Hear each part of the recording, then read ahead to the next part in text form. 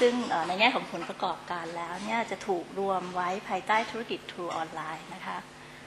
ในแง่ของ True Move เนี่ย True Move เป็นผู้ให้บริการโทรศัพท์เคลื่อนที่นะคะรายใหญ่เป็นอันดับ 3 ปัจจุบันนะคะเรามีลูกค้า 16.5 ล้านราย โดยเป็นระบบเติมเงิน 92%แล้วก็รายเดือน 8%มีส่วนแบ่งตลาดในแง่ของลูกค้านะคะประมาณ 24.3% ส่วนในแง่ True Vision นะคะ True Vision เป็นผู้ให้บริการโทรทัศน์ระบบบอกรับสมาชิกนะคะที่เป็นรายเดียวที่สามารถให้บริการได้ทั่วประเทศในแง่ของผู้บริการที่ต้องจ่ายรายเดือนนะคะ ปัจจุบันมีจำนวนผู้ใช้บริการ 1.7 ล้านราย คิดเป็นส่วนแบ่งตลาดในกลุ่มลูกค้าที่จ่ายรายเดือนประมาณ 55%นะคะ หรือคิดเป็นส่วนแบ่งตลาด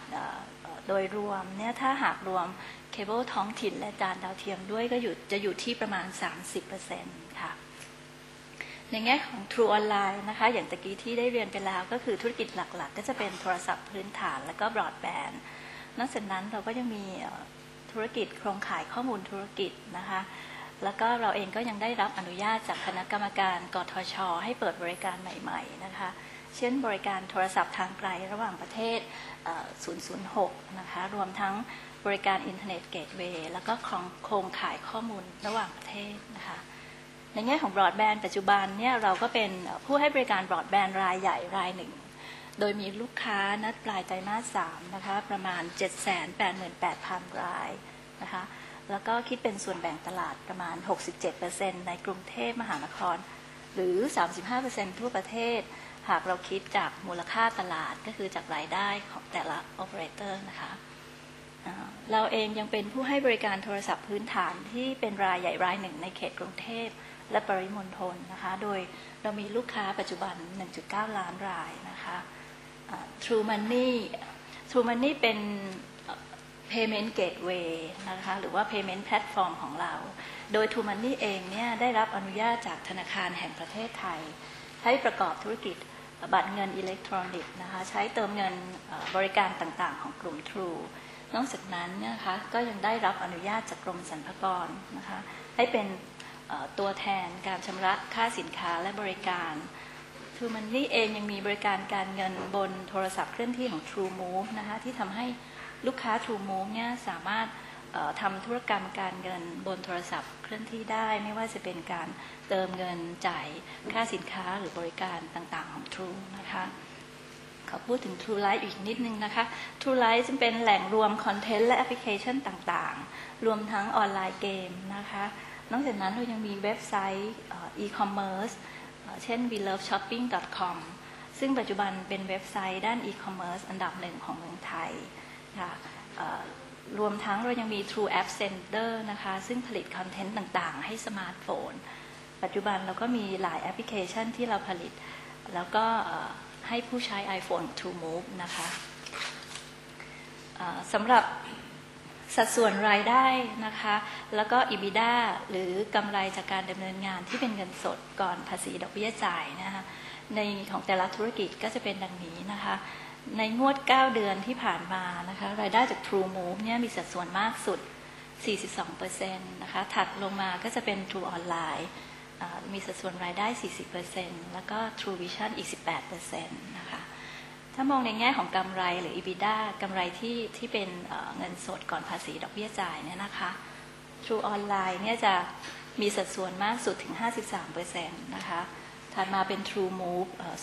34%และ True Vision 13%นะคะ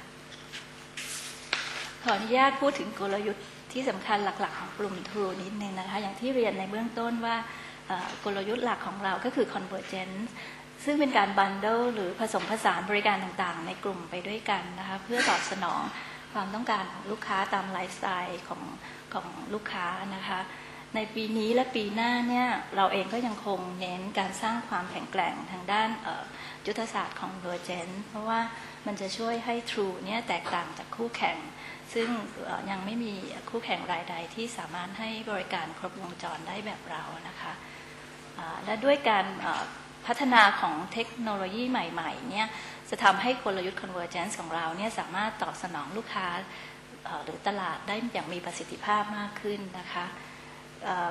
กลยุทธ์หลักอันที่สองก็คือว่าในแง่ True Move เนี่ย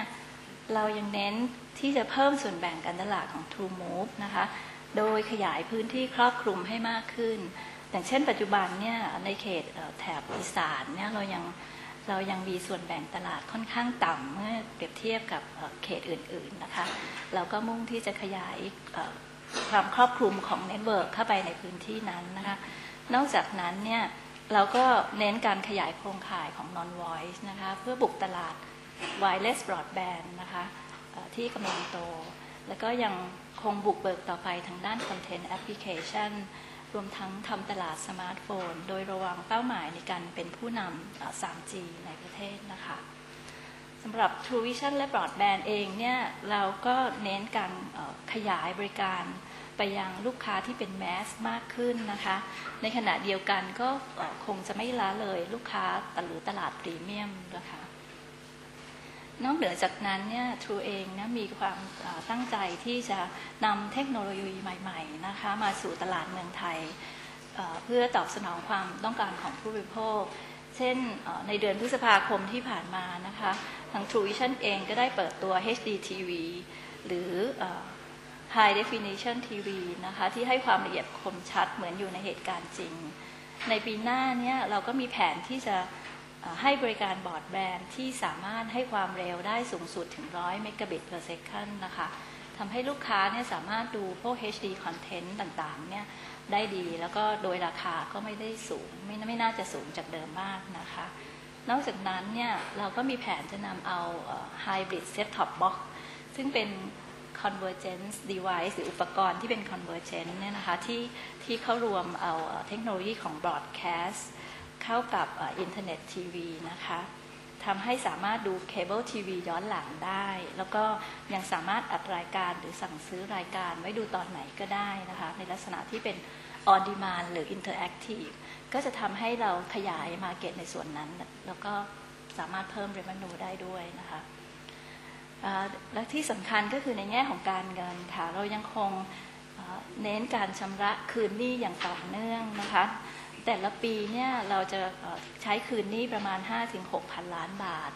โดยใน 9 เดือนแรกของปีนี้ เราก็ได้ใช้คืนหนี้ไปแล้ว 4,000 ล้านบาทนะคะ โดยคาดว่าในไตรมาสที่4เนี่ย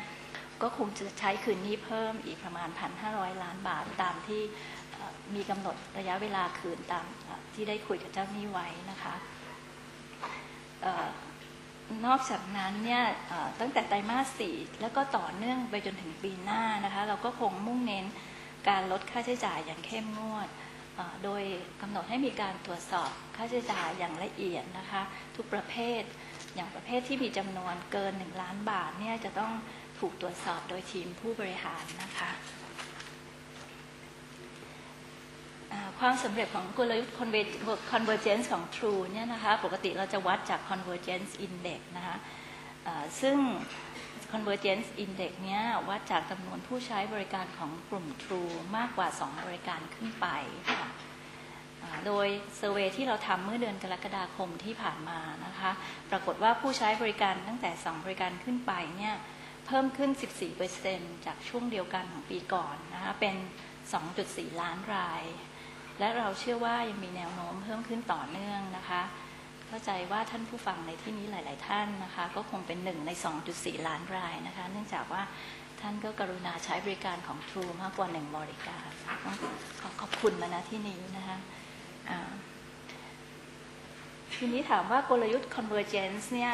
ช่วยอะไรให้กลุ่ม True ได้บ้างนะคะ อันดับแรกเลยก็คือช่วยขยายฐานลูกค้าให้ทุกกลุ่มธุรกิจของ True นะคะ นอกจากนั้นยังช่วยลดอัตราการยกเลิกการใช้งานของลูกค้าได้อย่างมากนะคะด้วยการที่เราเอาบริการที่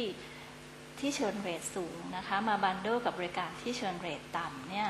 จะทำให้บริการที่มี churn rate สูง หรืออัตราการยกเลิกสูงเนี่ยมีแนวโน้มที่ลูกค้าเนี่ยจะยกเลิกลดลงนะคะ เช่นว่าโทรศัพท์เคลื่อนที่ prepaid อย่างเงี้ยนะคะ